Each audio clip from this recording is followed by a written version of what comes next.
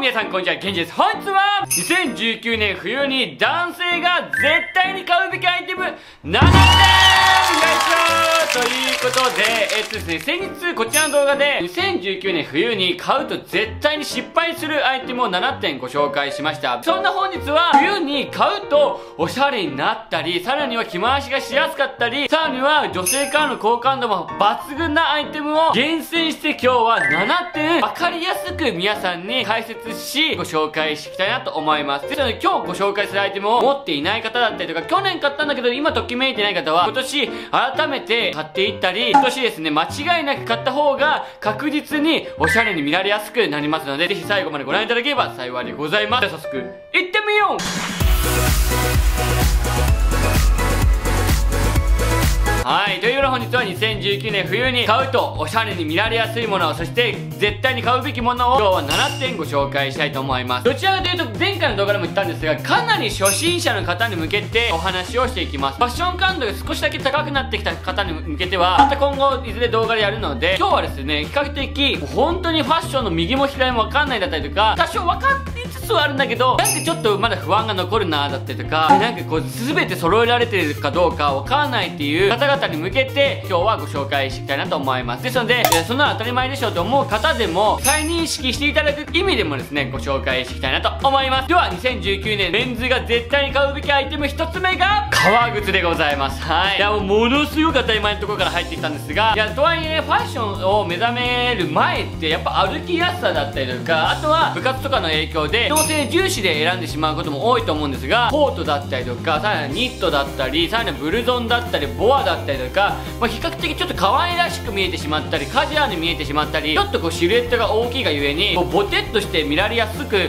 スタイルが悪く見えがちなものも中にはあるんですよ。だからこそそこに革靴という綺麗めなアイテムを合わせることによって全体の印象を引き締める意味でも男性ってやっぱ身長を盛りたいじゃないですか。でそういう時にマーチンとか、まあ、革靴って比較的スニーカーよりも身長が盛れるので皆さんの身長を上げてくれたり色が落ち着いてると冬はかっこよく見えたりといいとこがめちゃくちゃあるんですよ。だから今革靴を持っていないもしくはとんがった靴やなんかこう学校のローファーしか持ってないって方は今すぐにでもこういった丸みを帯びたような革靴を履くと一気にねコーディネートが変わるのでおすすめでございます。でさらに結構革靴買った方がいいよっていう発信は一年中僕してるんですよ。ただ冬に関して言うと特に買った方がいいシーズンです。というのも冬ってやっぱ洋服の数が多くなってくるじゃないですか。でそうした時に靴によって着れるもの着れないものが左右されてきたらその分またいろんなアウターとかいろんなアイテムで買わなきゃいけなくなってお財布に優しくないじゃないですか。ただ革靴って着回しというか履き回し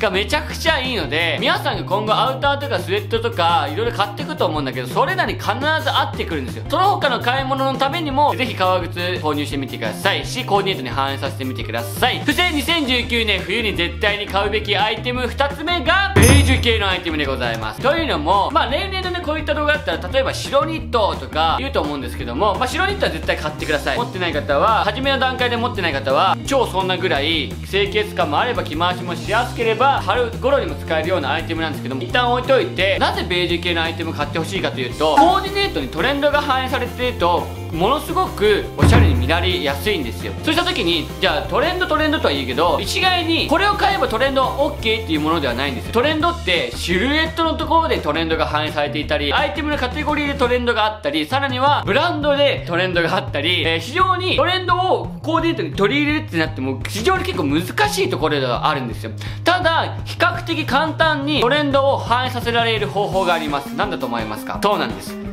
色です。というのも通販やさらには買い物の際にベージュベージュベージュ想像しながら買えばとりあえずはまあオーバーサイズじゃなくてもベージュであればちょっとトレンドっぽくなるしさらには比較的トレンドじゃないアウターを選んだとしてもベージュであればちょっとトレンドっぽいアウターになるしパーカーとかあとスウェットとかニットに関してもとりあえずベージュを選んどけば今年っぽいようなスタイリングになるんですよ。えー、なるんですよっていうようにとりあえずは、まあ、デニムとかでベージュとかさすがにないんだけどトップスやアウター選ぶ際はベージュを意識してみてください。ただアウターに関して言うとベージュももちろんかっこいいんですがそれ以上に清潔感があり着回しがしやすくかっこいいのはネイビーでございます。ベージュよりか比較的ネイビーの方が圧倒的に来年も再来年も使えるのでどちらかというとベージュに関してはスウェットやパーカーやニットシャツやパンツなどを考えて購入してみてください。そして2019年冬に買うべきアイテム3つ目が黒スキニーまたはスキニースラックスまたはアンクルスラックスでございます。というのもですねやっぱり皆さん今後アウターとか買っていくと思うんですがなんかパンツによってそのアウターが使えない使えるとかかっこいいかっこよくないが発生するというともうめちゃくちゃ損した気分になるじゃないですか。でそうした時に黒スキニーや黒のスラックスであれば安定的にそのコーディネートに絶対に合ってきますしさらには非常におしゃれに見えます。というのも人が人のことをおしゃれだなと思うにあたってたくさん項目があるんですが例えば清潔感が感じられるスタイルがよく見える。さらには個性が出過ぎていないだったり落ち着いた雰囲気があるだったりそういった、まあ、たくさんの項目があるんですけども今挙げた4つの項目を抑えられるのが黒スキニなんですよ。っていうように過去の動画で、まあ、たくさん解説してきたんですがそれらの理由で黒スキニをお勧めします。はい。でですねここで突然なんですが実はですねここまでの説明って自宅で撮影した時に撮影していたんですよ。ただ、なんとですね、データの破損によってですね、データがなくなってしまったんですね。で、再度お話をさせていただきました。で、こっから長い場所は場所が切り替わります。ただ、繋がるようにお話をしましたので、自宅の過去の現地へ繋ぎます。どうぞそして2019年冬に絶対に買うべきアイテム4つ目がパーカーでございます。というのもですねアウターの雰囲気をガラッと変えてくれるアイテムなんですよ。でさらには女性もね当たり前のように持っているアイテムなので女性からのま好感度が抜群というよりかは非常に安心感だったりとかあとはま人のね優しさだったりとかプラスさせてくれるようなそんなアイテムでございます。今ね買ったとしても春頃全然使えるんですよ。なのでアウターだけを買いがちではあると思うんですけどもアウターと同時にパーカーとかを買ってそのアウターにフードを出してあげるだけで一気にコーディネートの雰囲気とかも変わるのでおすすめです。なんか結構おしゃれな方々に人気なのって結構フードがついたコートとか結構人気なんですよ。ただそれってもうフードの取り外しが可能じゃなければフードがついた状態でしか楽しめないんですよ。ただ2019年冬に買うべきアイテム5つ目にご紹介する予定のチェスターコートとか、まあ、センカラーコートとかオーバーコートとかって、まあ、フードがついてないんじゃないですか。なのでフードがついてない時のかっこいいキーとしたスタイリングも楽しめれば反対にちょっとそこにコートの中にパーカーを差し込んでコートの上からフードを出してあげることによって2つの楽しみ方ができるんですよ。ただ反対にコートにフードがついてしまったらその下にまずパーカーは着れないし回しもあまり良くないしどんどんどんどんこう使えるシーンっていうのが限られてきてしまうんですね。まあそれだからこその良さっていうのがすごくあるんだけれども。だから僕はファッション初心者の方ほど洋服に何万円も何万円もこうかけられるわけじゃないじゃないですか。し何万円もかけられる人であったとしても、えー、着回しがしやすかったり好きな洋服がたくさんいろんな着回し方でできる魅力的なことだと思うんですなのでぜひねパーカーを1つゲットしてみてください。でそこでおすすめなのがベージュのパーカーでございます。そして、えー、5つ目がそうチェスターコートでございます。というのもチェスターコートはトレンドに左右されることなく来年も再来年もそのまたその翌年も使えるような男性からしてみれば超黄金アイテムなんですよ。着回しもすごくしやすいですしさらにはカジュアルめに着ることもできればちょっと綺麗めに着ることもできるし細身のパンツ合わせれば一気にスタイルがよく見えるし暖かいしでもういいこと尽くしなんですよ。なので、え今ですね結構あ比較的こう初心者の方に向けて発信したよっては言ったんだけどかなりおしゃれな方感度が高い方でも当たり前のように、えチェスターコートを選びます。ですので今年ですねこうアウターとかで悩んだ方は絶対的にネイビーのチェスターコートをぜひ選んでみてください。実際にネイビーのチェスターコート僕たくさん組んできています。それがこちら。だったりとかさらにはこちら。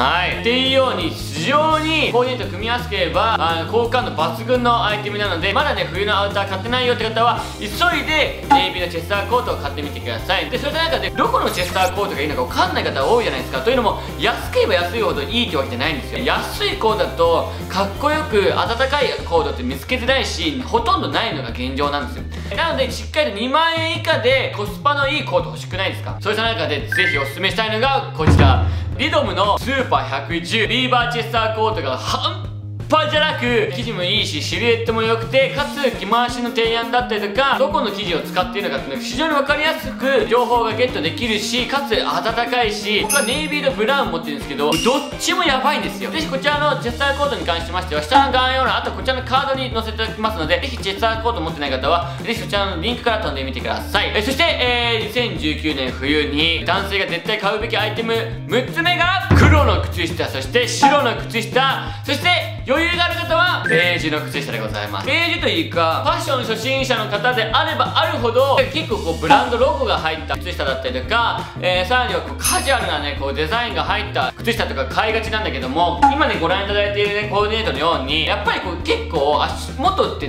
とことん目がいくんですよ。しどんな靴履いてんのかなとか全体の印象はどんなものなのかなとかあとはアンクー丈のパンツを履いた際に座ると結構やっぱり靴下が出てくるんですよ。靴下とかって非常に清潔感だったりとかあと全体のコーディネートの印象のバランスを左右してしまうアイテムなんですよ。なので安定的に黒の靴下と白の靴下そしてトレンドを意識してベージュの靴下をゲットすることをお勧めします。で全然ユニクロで大丈夫なのでユニクロで長めの靴下を買ってみてください。アンクー丈とかのは正直今寒いしさらには靴とパンツから肌がね見えてかっこいいのは秋春夏だけなので冬はどちらかというと足首の肌が見えない方がかっこいいのでそちらも意識して、え、購入してみてください。そして2019年冬に絶対に買うべきアイテム7つ目がブルゾンでございます。というのも、えー、これは何を言ってるかというとあのアウターは最低でも2つ持っていてほしいんですよ。そうした中でアウター2つ持っていてほしい中でコートだけだとなんかいつも一緒だなっていう風に、えー、見受けられてしまうんですよ。なので MA1 とかでもいいですし中綿が入ったコーチジャケットでもいいですしさらにはダウンとかでもいいですしジャケットタイプの丈が短いものとチェスターコートをバランスを考えて1週間でこう着ていくとマンネリ化しないというかファッションにおいて物足りないなと思われてしまう人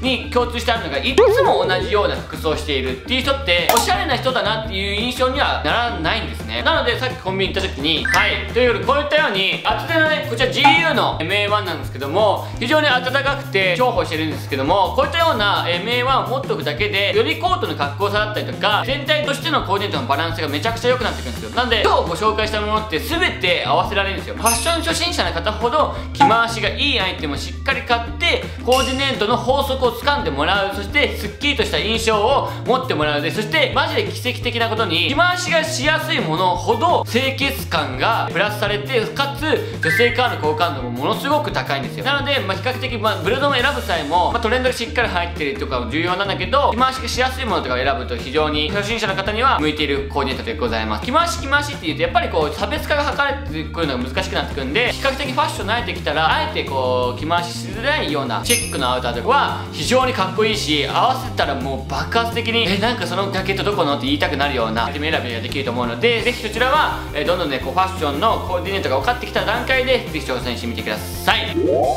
ということで本日は2019年冬に買うべきアイテムを、えー、ファッション初心者の方に向けて話をしました。ぜひ昨日の失敗するアイテムと比べながら、えー、ぜひねご覧いただければなと思います。では今回の動画少しでも参考になったらいいなと思っていただけたり、えー、春も同じような動画をやってほしいだったり冬もうちょっと感度高めた買うべきアイテム7つ紹介してほしいんだって思ってくださる方はですねコメントと高評価そしてチャンネル登録のほどよろしくお願いします。では次回の動画でお会いしましょう。以上現状の動画でした。ありがとうございました。